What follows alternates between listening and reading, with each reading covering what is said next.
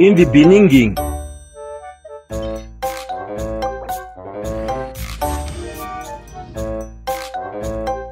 What?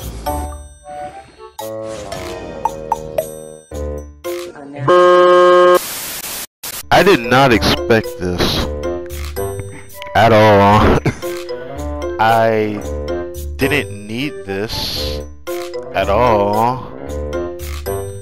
It's really good.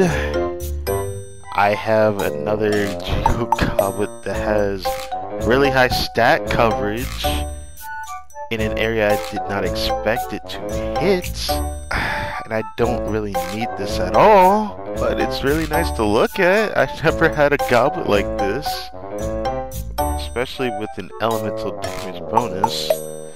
Oh, this could have been freaking Dendro though, man. It hurts. This could have been Dendro damage bonus, dude. Well, let the grind continue.